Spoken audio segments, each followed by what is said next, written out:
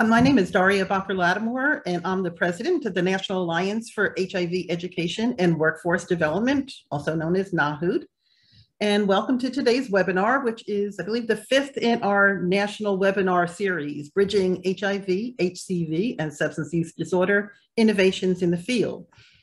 We are this webinar series hosted by NAHEWD in partnership with the AIDS Education Training Center program and the Opioid Response Network. Um, also joining me today is NAHEWD's treasurer and the co-PI in the grant funding this series is Vanessa Carson Sasso. This session is going to be recorded and made available as a resource on our website within about one week. So NAHEWD is a membership organization of the eight regional and two national AETCs. We were established in 2010. We support the AETC program which is a component of the HRSA-funded Ryan White AIDS program. It has an explicit directive to build and maintain a well-educated and culturally sensitive health professional workforce that can provide prevention, diagnosis, care and treatment, and medical management for people at risk for and living with HIV. NAHEWD collaborates with multiple organizations in order to promote and educate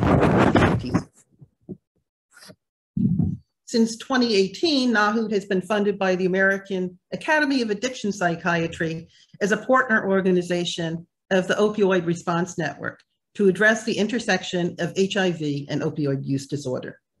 ORN was created to support efforts in addressing the prevention, treatment, and recovery of op opioid use disorder and provides free resources and TA locally in communities across the United States and its territory.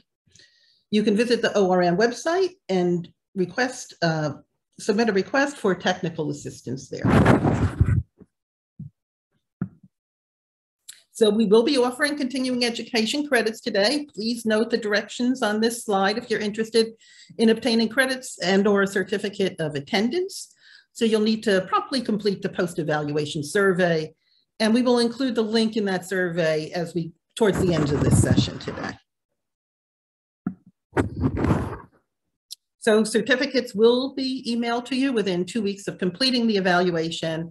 And of course, it's your responsibility to verify the requirements of your state licensing board. So now I am pleasure, my pleasure to introduce today's speaker. Stop sharing. Here we go. So Dr. Alice Thornton. Dr. Thornton is, is a professor of medicine in the University of Kentucky Department of Internal Medicine and chief of the Division of Infectious Diseases. Dr. Thornton has been involved in many aspects of the Ryan White program, including Ryan White B, C, and D, and as the local performance site of the Southeast AIDS Education and Training Center. She is also active in NIH research and has served as grant reviewer for the NIH, CDC, and HRSA, and has served on the HIVMA board of directors. So welcome, Dr. Thornton, and I'll turn it over to you. Thank you so much, um, both Daria, Liz, and Vanessa for this opportunity. And I'm going to see if I can share my slides. Did I do it wrong? I think it's there. Yeah. All right.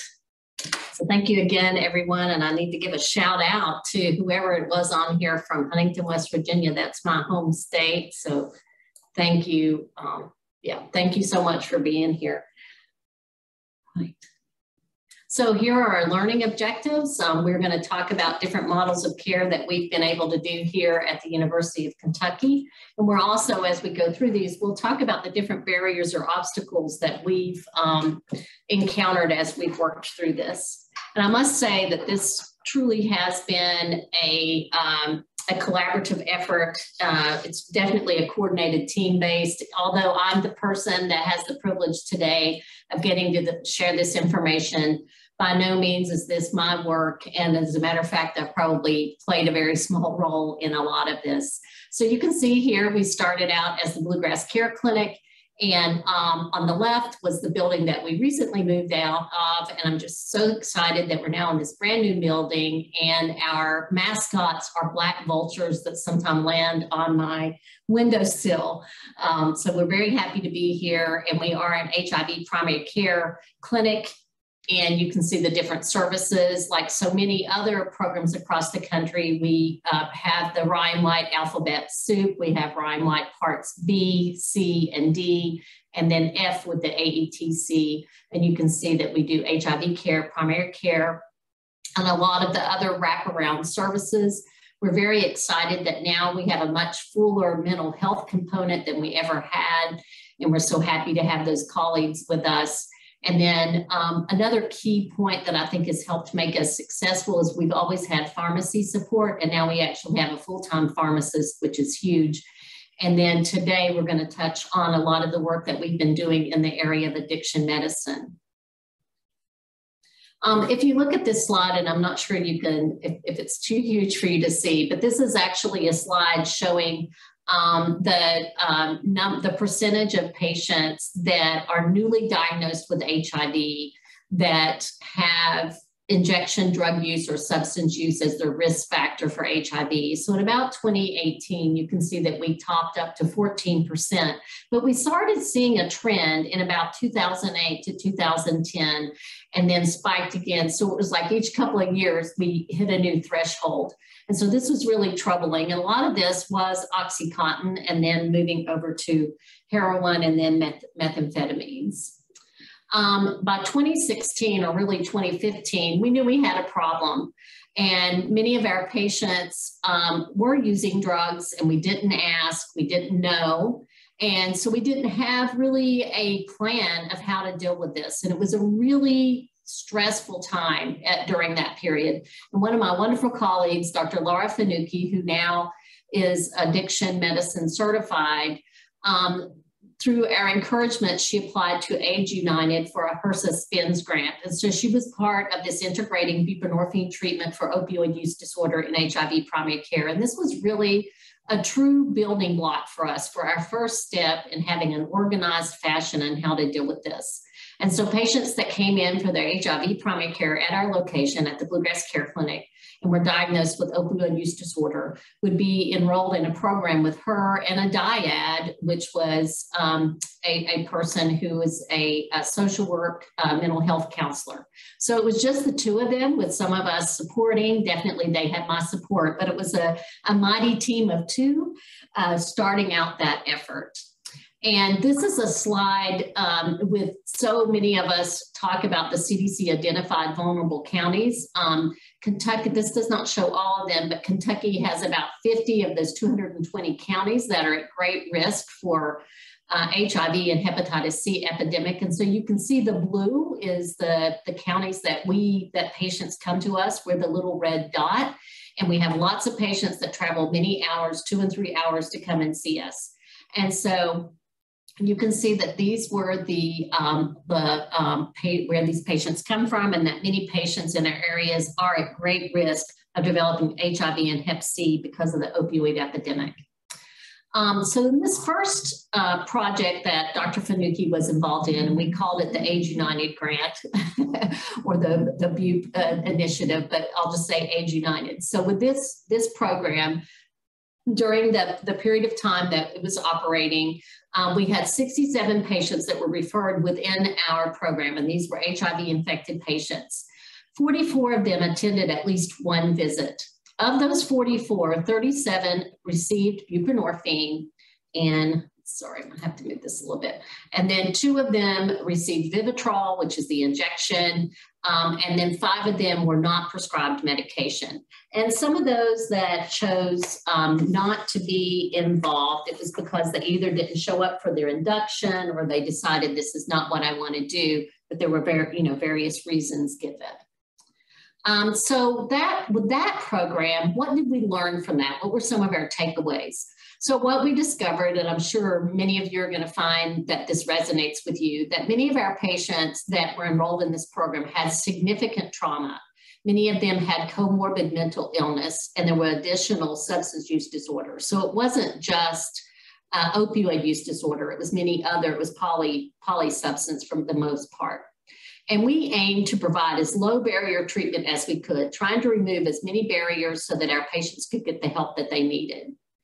And most patients needed more help. And I, I, was really, I've been doing, at that point, you know, I was doing HIV care for at least 18 plus years. And I was just really struck by how intense case management was often needed compared to what I thought was our needy HIV alone patients, but patients that had this comorbid opioid use disorder, it seemed to me that it was even more intense case management. Our providers really needed dedicated clinic time to provide this opioid use disorder treatment. And often uh, we found that the patients needed to be seen more frequently. So that was something that we hadn't necessarily thought about. And then one thing that we always had to keep reminding ourselves was to be patient. And we had to keep a trauma informed perspective because many of our patients, as I mentioned, came from this background.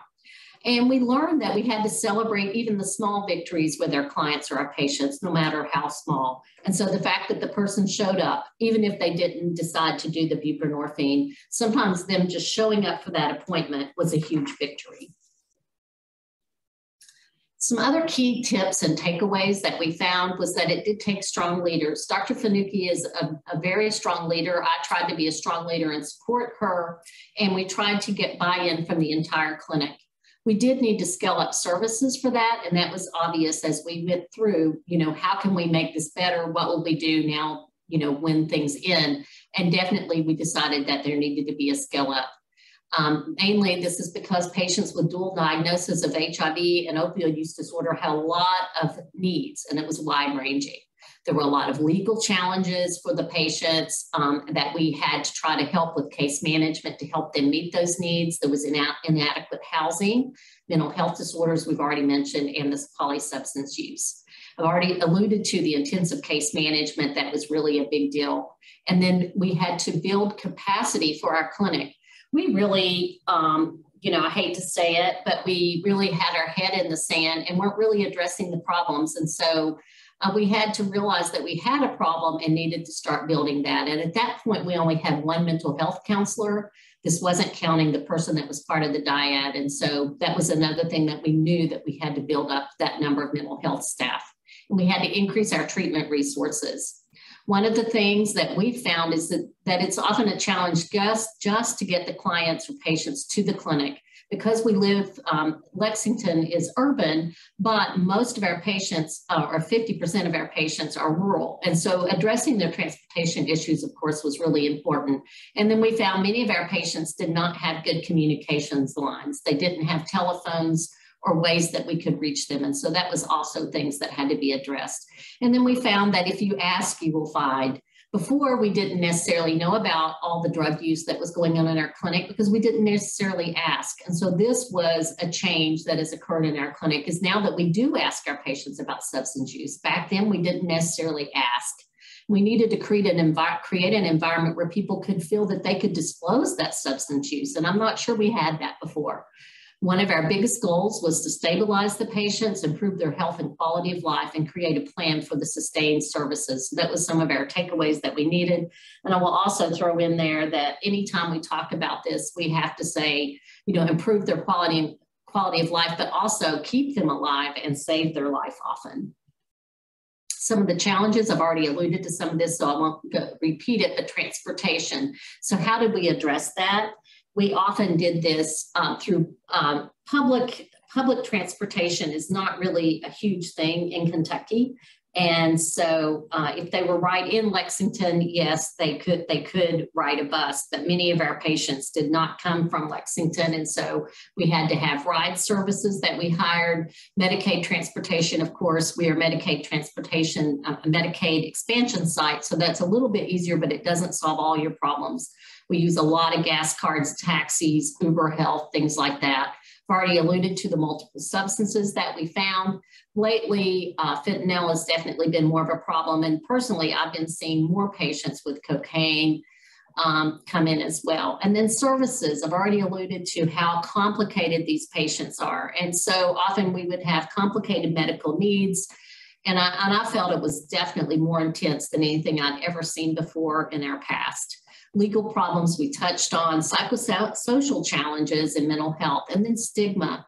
we had stigma within our system. Our healthcare providers, including myself at different times, had stigma toward these patients uh, where they experienced the stigma from us and then our community. And then one of the things that we found as we've been involved more with the patients and their families in the hospital is often the family members and their, their culture was, well, we're not interested in MAT or MOUD because you're just substituting one drug for another one. And so we had to help patients look, um, get beyond that. Um, then next, as this started run, um, winding down, was how do we go from here? What kind of sustainability plan do we have? And so we wanted to, before we were sort of co-located, we wanted it to be more integrated, not siloed. And so that means that we meant that we had to expand the people giving a, giving MOUD. And so Dr. Fanucchi continues continues to have one clinic a week with us.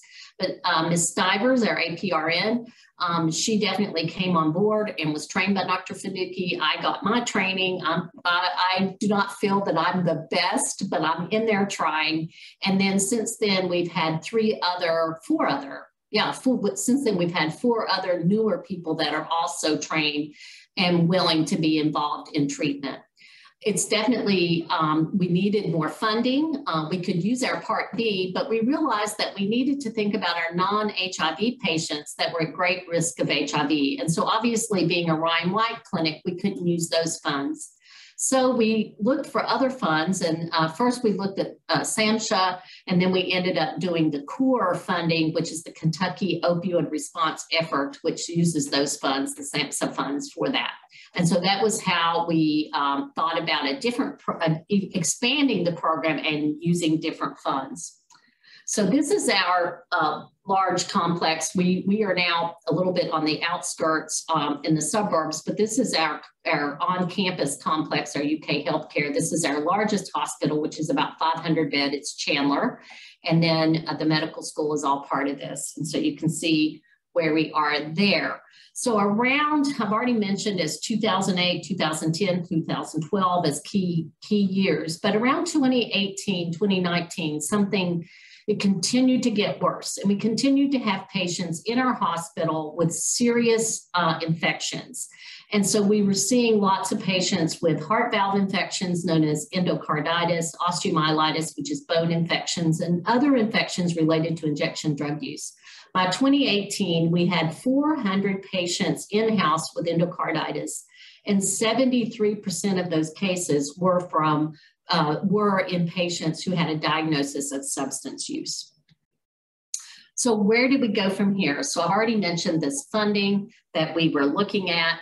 Um, and before I go into the funding, let me just again point out, so I've shown you this map previously. So again, the blue is the area that we serve. Um, the yellow dots were actually a study that we did, finished in 2012, where we identified all the counties where endocarditis cases were. And then the dark blue dots were those CDC identified counties that are at great risk of HIV and hepatitis C. So you can see all of this begins to overlap.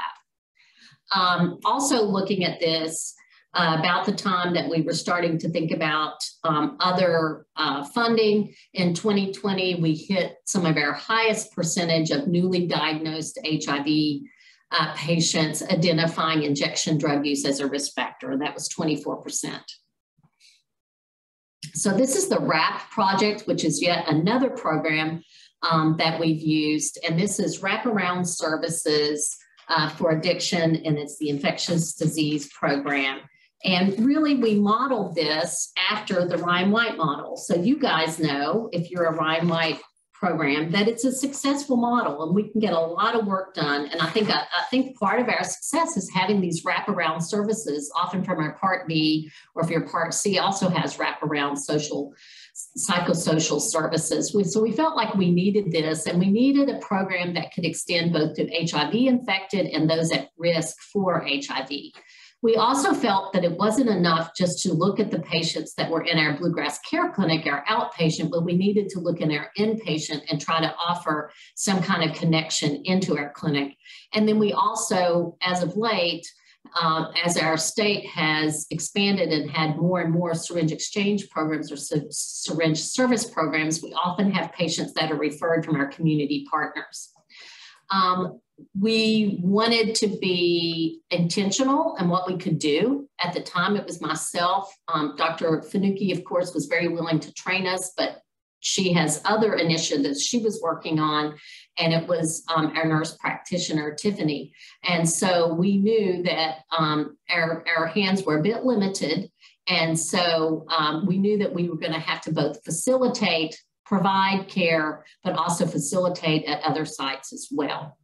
And then um, we use the GPRAs, our state um, that has funded this did require us to do these GPRAs, which are surveys that we ask patients and get in-depth information about them over, over our, our time period that we follow them.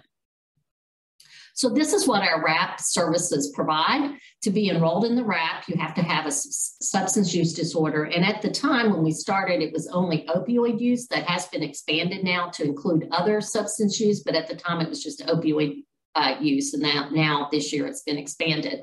And they had to have an infection related to their injection drug use or their opioid use disorder. And so that could be HIV, hep C, bone infections, heart infections, you know, whatever. Um, and these are the services through this small um, grant that we offer. Case management is a big part of it. And then you can see the other things listed here. Recovery support, harm reduction, relapse and overdose prevention, linkage to care is a big piece of what we do, trying to serve as that bridge, again, often from outpatient to inpatient. And then another big piece is either to provide um, medicines, medications for opioid use disorder, or to coordinate with another program. And then a big part is transportation. We might not see the patient uh, for opioid use ourselves, but we make sure that um, they can get the care they need. And so there's a lot of transportation and coordination. So, what were the questions that we wondered about as we looked at this program. And so we wondered, could we apply the Ryan-White Care Act treatment model to patients with substance use disorder that may or may not have HIV? Would this treatment model improve patient outcomes? And we wondered, was it feasible to implement this within our larger infectious diseases clinic? And the WRAP team um, is a multidisciplinary team. So this came very naturally since this is mainly, you know, this is very much what a Ryan-White clinic is. Many of us are multidisciplinary. So we had, um, I was the initial principal investigator, and thankfully I have other people coming in, and Dr. Grubbs graciously accepted to be the PI. I've continued to be involved, and Dr. Sarah Blevins, our wonderful pharmacist, has been very involved. I call her, instead of a horse whisperer, she's a drug use whisperer, really has a lot of experience um, in helping these patients. We now have um, the four people listed here. Nicole Akey is a newer mental health uh, PA that's with us that um, her uh, area of expertise is behavioral health and psych. And so she's one of our newer people. And then we have four other MDs, or three other MDs, including Dr. Grubbs, um, that have joined us. And then Dr. Fanucchi continues to teach and be very much a part and follows five patients not involved in WRAP. And then I've already mentioned Sarah. And then we, a very key important, important point is to have that social work or program coordination, mental health, and then we mentioned the case management, and then we've had some other grant and data support. So what does this look like in reality? So what happens on campus? We have five infectious disease consult teams between our two hospitals. And so when the infectious disease consult team encounters a patient that has opioid use disorder and now polysubstance use, they refer the patient to the WRAP team. It can also, the referral could also come within our clinic. Um, it could be someone that's referred in for hepatitis C, and then of course our HIV patients that it's discovered that they have issues. And also, I mentioned already the syringe access programs. And so there is another team that we're going to talk about, which is the inpatient addiction medicine team, but they can also reach out and engage, the, engage us in the care as well. So once that happens, members of our teams, either the program coordinator or the case manager meets with the patient wherever they are, be it the hospital, the clinic, over the phone, however we can find them. obtains consent to be part of our program. They do that baseline um, survey or questionnaire that we talked about. And then the patients can receive their MOUD if they're interested either at our clinic or outside our clinic, and we help coordinate that care. And then they a part of our program is for them to complete if it's a if it's an infectious disease that can be cured to complete that infectious disease goal. So if they have endocarditis, a heart valve infection, that usually is about six weeks of antibiotics. And so we want to make sure that person completes that therapy, that they have their follow-up if they have Hep C, we want to make sure they get their Hep C treatment. Um, we've had some patients go ahead and get on PrEP um, by coming in as a WRAP patient. And so, whatever their treatment goals, we want to help them accomplish those. So, what have we been doing since 2019 when we first started enrolling? So, we've had about 666 referrals. Of those, 191 were ineligible. So, we have 475 eligible we were able to actually approach 283. And I know that's a huge number, but a lot of times those patients either left the hospital, uh, were discharged before we could get to them, or or they were referred, but we could never get a hold of them if they were referred by the syringe exchange program when we're calling them. 172 were actually enrolled. When we look at our demographics for this population, it's a little bit different than our Ryan White clinic. For this population, um, it's largely uh, almost equal female male. For our Ryan White program, it's 80, about 80% male and 20% uh, female. With this population, it's largely white, 94%.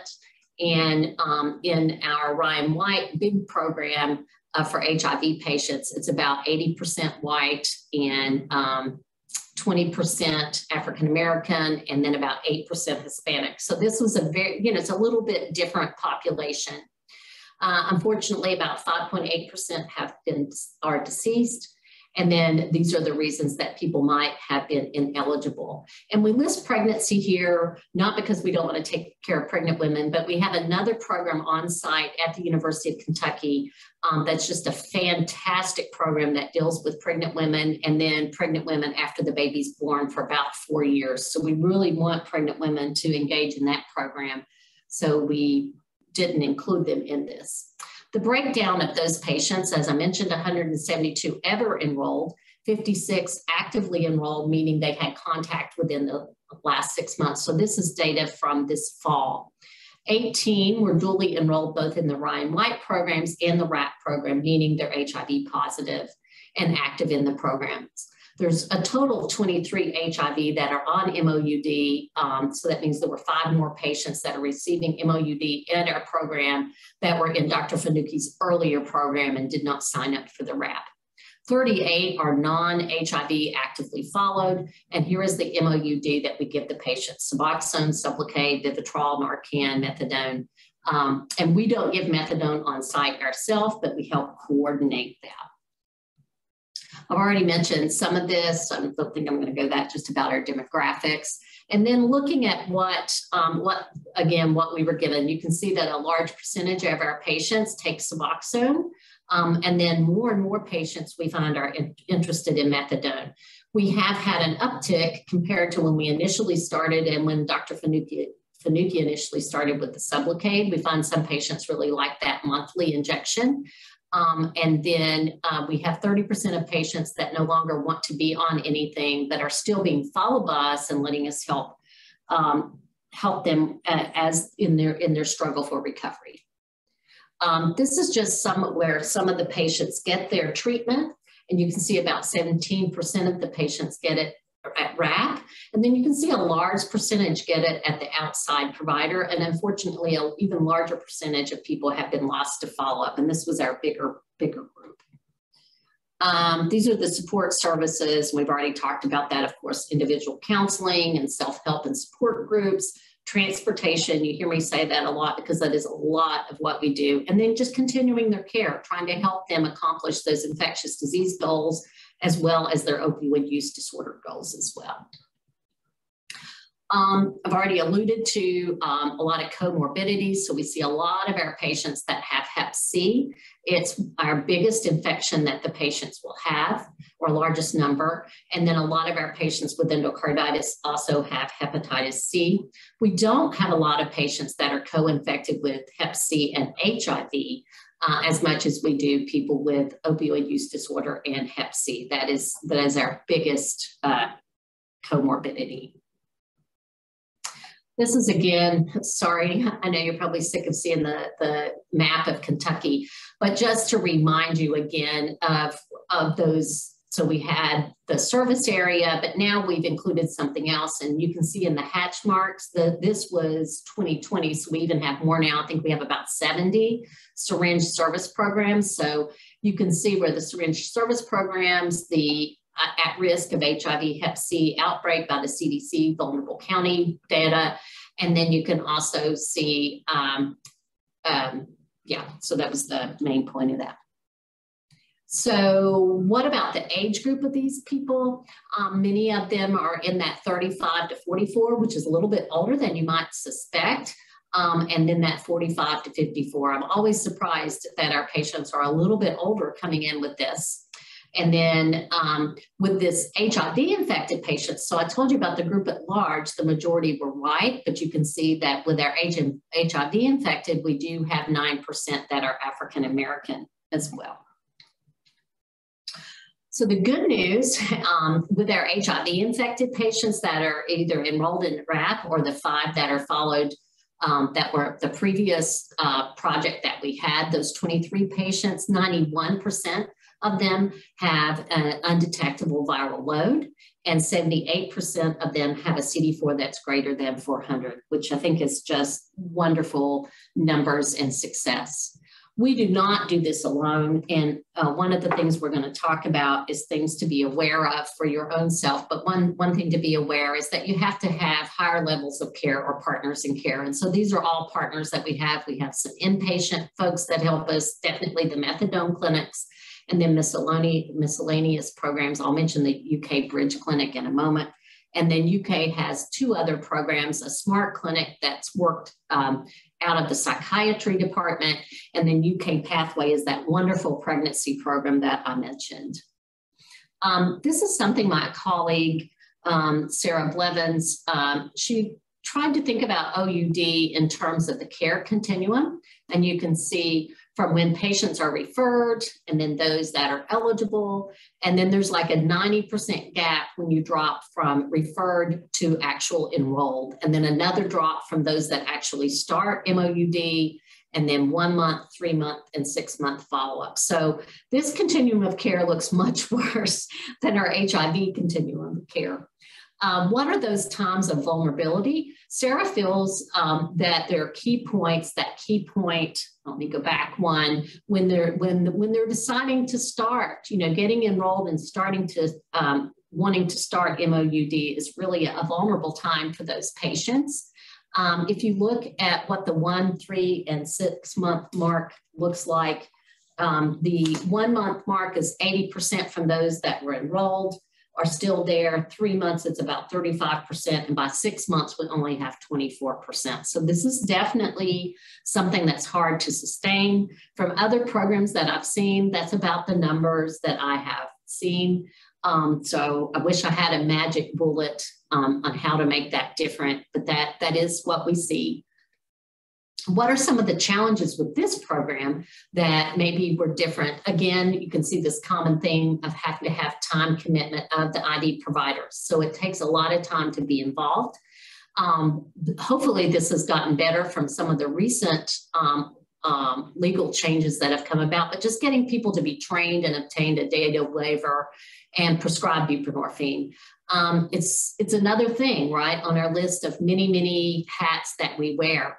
And so um, there's that provider reluctance. Uh, polysubstance use is difficult, particularly methamphetamine, since we don't have medication that's specifically known to make as huge a difference with methamphetamines. Geography for us being a rural place um, where there's not often uh, public transportation, that's tough. Reliable communication, we've already talked a little bit with the other program about telephones. Who knew that telephones would be so important for patients? But that's often very hard if they don't have a phone to be able to reach them. And then transportation, we've talked about. One other thing that during the time of COVID has become really a big problem for us. At one point, we did not, we only had the providers and um, our grant and data people um, for to carry off for about a month, carry on. And it was because we needed, you know, our, our our folks left. And so you have to hire and maintain trained and culturally competent staff this is really hard work and it's not uncommon for people to feel like you know i can't do this anymore or i need higher pay you know for what whatever their uh, their reasons are for leaving but you know it's healthcare and it can sometimes sometimes be a problem um, i know i don't have a whole lot of time left because we want to definitely save about uh, 10 minutes left for questions. So I'm going to try to go through these, just touch on them. These are th um, two other programs that we have going on within our university and out of our infectious disease division. So this again is a program started by Dr. Fanucchi, our colleague. This is called the ACEs team. It's an addiction consult and education service. And this was started in 2018. She accessed the same funding. Actually, I followed her path and accessed the same funding, the KORE funding, that Kentucky opioid response funding. And the primary a primary focus of this funding was inpatient management of opioid use disorder. So what we were finding was people were getting admitted uh, into the hospital with infections, and then they were leaving because they were in opioid withdrawal. And so Dr. Fanucchi started this program so that uh, consults could happen um, to really uh, help these folks meet not not only you know we, this is a moment in time when hopefully you can help them get in into opioid use care. Um, but also, we don't want them to leave when they have a heart valve infection or a bone infection. And so this was, you know, twofold trying to help folks. Um, this is the team. Um, she's the medical director. There's a nurse admin lead. There's several physicians and nurse practitioners that she has, a nurse navigator, a clinical social work, and then peer support specialists. This is the bridge clinic, which has been very important. So once patients leave the hospital, if it's doable for them to come to that clinic, they can continue their opioid use care um, right there in the bridge clinic. Um, they do have walk-in times and they do um, um partner very closely with their emergency department. Um, not all patients obviously can come to that because we serve people two and three hours away. And so they also help uh, coordinate patients finding a spot closer to their home base uh, to get their care if they can't get it there. Um, some of the challenges that Laura and her folks have pointed out, you can see their numbers just continue to climb. Um, I know they, they constantly have like 40 patients easily between the two hospitals that they're following. And this, this is a little bit of a breakdown. Now, this is getting a little bit old. I can't see the top, but I think this was 2020. Um, but you can see a large part of what they do is they start people on buprenorphine. They can also start people in the hospital on methadone, and a small percentage of people will be on the naltrexone. Some of their challenges, I've already mentioned stigma to you, and we found that a lot. And I, uh, this is listed number one. And to be honest with you, I feel like in the hospital, that is often our number one thing to overcome is stigma. And it can be from providers, and I've already mentioned culturally from people's family. I know right now on one of our services, we have a young woman who's been started on MOUD but she's asked the team do not talk about the MOUD in front of my family members that are coming to visit me because me being on this treatment would not be acceptable by them. How sad is that? So that there's often this educational point that we have to make with family members and the patient themselves.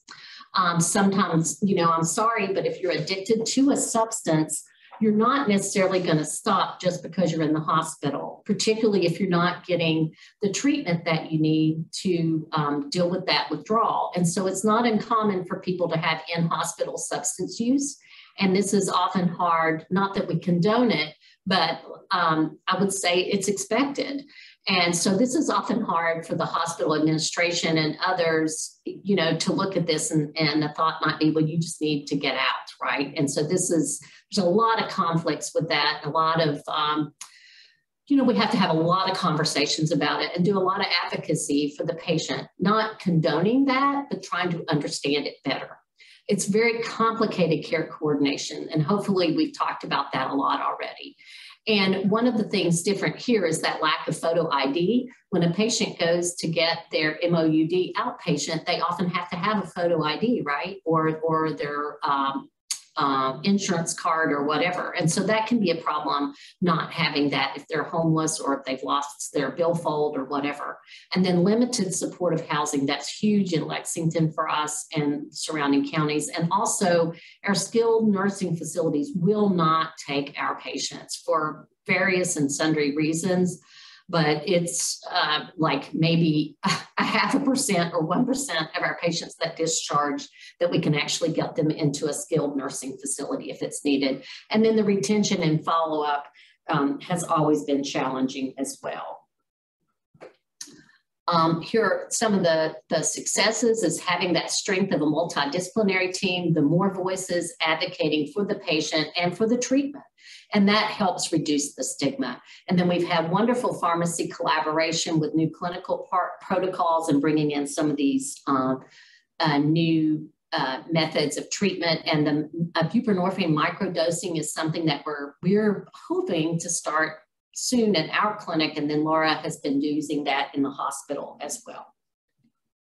So um, I'm going to not talk too much about this, but I do have the reference. This is a, a study that Dr. Fanucchi did inpatient where we looked at um, a big thing in our hospital in the past has been, oh, this person has a PICC line or an IV line. There's no way they can leave because they have drug use.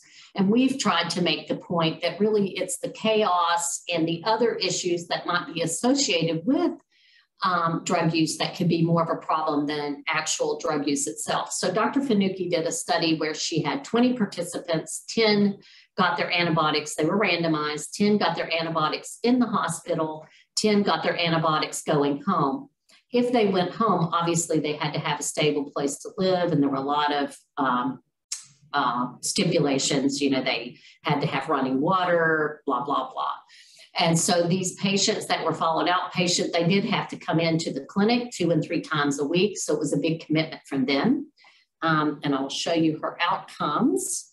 Uh, one thing I did add here, uh, just to let you know, between the two groups, there was actually less illicit opioid use in 12 weeks post-discharge in the patients that left the hospital and got their IV antibiotics outpatient than there were that than patients that stayed in-house. Um, so that was a surprise. It didn't reach statistical significance, but there definitely was that trend for less uh, illicit drug use uh, outpatient. So usual care meant they stayed in the hospital. Early discharge meant that they got this outpatient. You can see that the length of stay was significantly different in those patients that got to go home and get their IV antibiotics and then the outpatient IV uh, antibiotics, of course, there were more for those patients. You know, the patients that went home with the antibiotics got more antibiotics outpatient. The final team, our final model that I would like to point out is a newer model, and um, it's not just about opioid use, but it's also those infections associated with injection drug use. And so this is a new model that um, Dr. Sami El-Dalati ha has been recruited to come to our facility and start. It's a multidisciplinary endocarditis team. Um, this is the team members, and you will see we're even expanding our team, not just to our ID champions, but we have folks like our CT surgeons and our neurosurgeons and our cardiologists and our ACEs team. And so it's really bringing this team together now. They don't round um, on all these patients, but we have a weekly um, Zoom meeting and um, we talk about each of the patients that the endocarditis team is following on the consort service and we try to approach it from a multidisciplinary team approach. Um, these are the goals to improve communication between the primary medical team and the subspecialties and um, increase access to surgical intervention and improve post-hospital follow-up and decrease mortality. This is a, more of a European model uh, of endocarditis. If you look at the endocarditis guidelines, the European uh, endocarditis guidelines talk about uh, this kind of model. And so this initial work, we only started at the day after Labor Day, so September 2021. We've already had about 13 weekly multidisciplinary team meetings. I'm very pleased to say that we've had, um, I look every week to see, we've had over 20 people on every Zoom meeting, and most of them stay for the entire hour.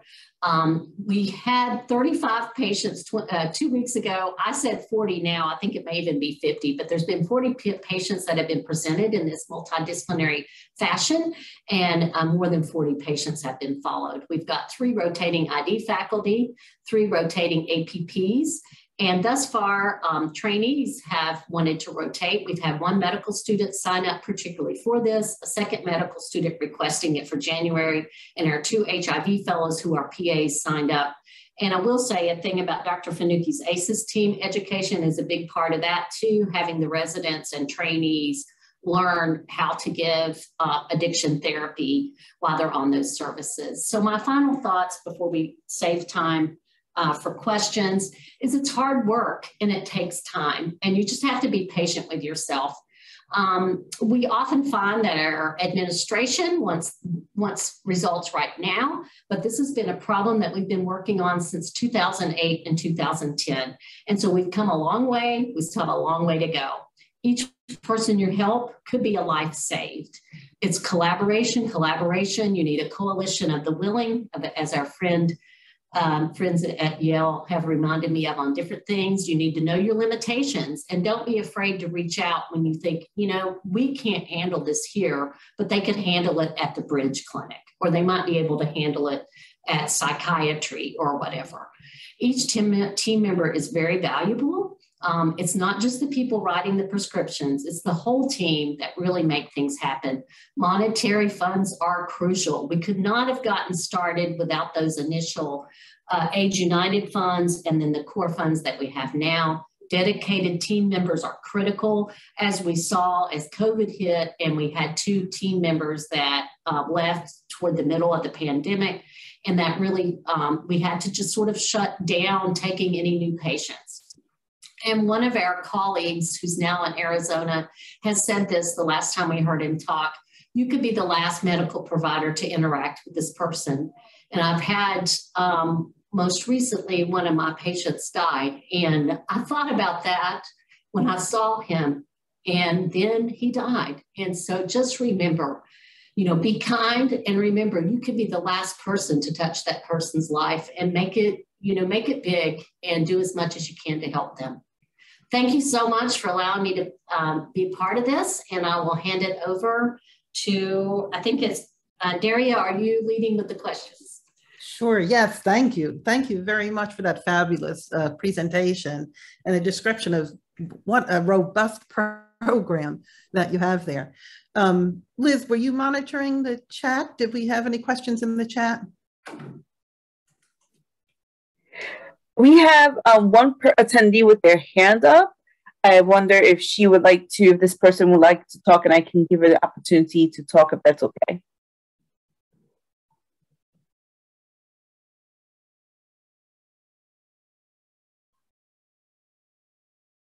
Letitia, did you want to ask your question?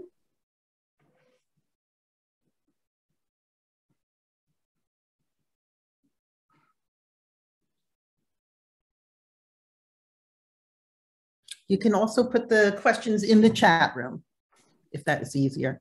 I did want to make one comment though, in your earlier part of the presentation, when you were talking about the AIDS United funding and the smaller and just the power of having that dyad. Um, yeah. I think it, it really is empowering to see yes. how two very dedicated people can really make yeah. a program begin and give some hope to those of us who are starting these yeah. programs in smaller settings. That's that's exactly right. And I and I say this to my colleague, Dr. Fanucchi, all the time. You know, it took her and that, like you said, that one person, that other person, two people, sort of snowballed many of these efforts, and I think gave us all the courage and um, you know strength. Okay, let's take the next step.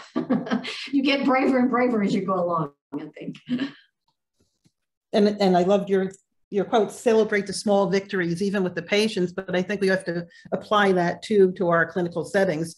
Celebrate Yes. the small victories we are making in the clinical settings as we progress to developing these larger programs. Yeah, yeah.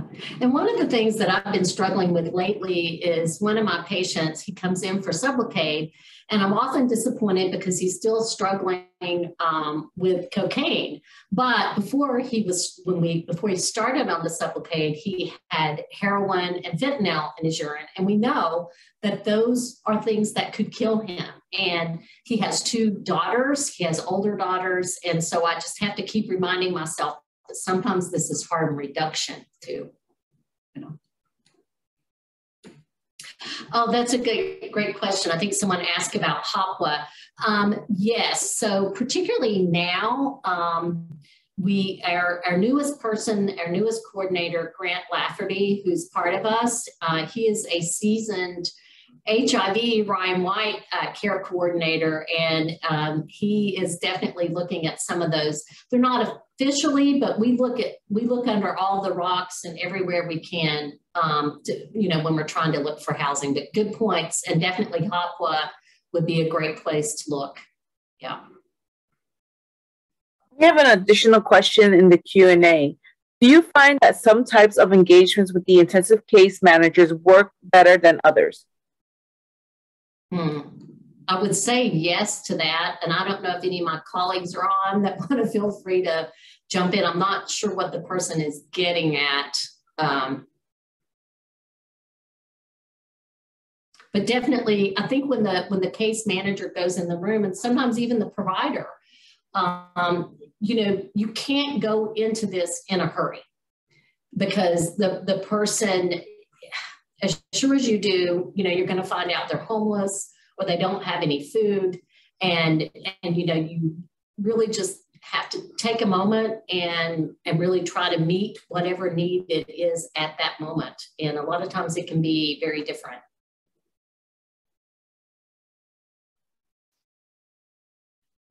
I have one other question too. You mentioned the the role of stigma, particularly in the inpatient setting. Just wondering if you had any strategies, um, successful strategies in addressing that. Yeah. So the ACEs team, which again, that is that addiction team, that I think that has made a huge difference. Um, one of the things that uh, we tried to do early on was to get the teams to let the nursing staff put those consults in and empower the nurses who may be the very first line you know noticing that this person has an issue and also if you think about it the nurses they often do 12 hour shifts and so they're most impacted by someone that might be going through withdrawal or having mental health issues and so i think trying to get the buy-in of the nursing staff was really important one of the people that is a key member of that team, um, she's higher up in nurse administration. I mean, she's not like the, uh, the highest, but she's a very important part of that. And so I think that's a lot. Yes, someone just pointed out AOD case managers use motivational interviewing in a lot of patients. Definitely, definitely motivational interviewing, I think is really key.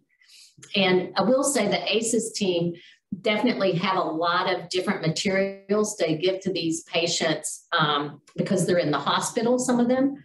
And so they have books, coloring books, um, peers going by and spending time with the patient. And our WRAP team members have noticed that sometimes our patients just really appreciate it if they um, bring over snacks or try to engage just sitting and talking to them because many of them may be two and three hours away, even in the hospital, and then may not get any visitors.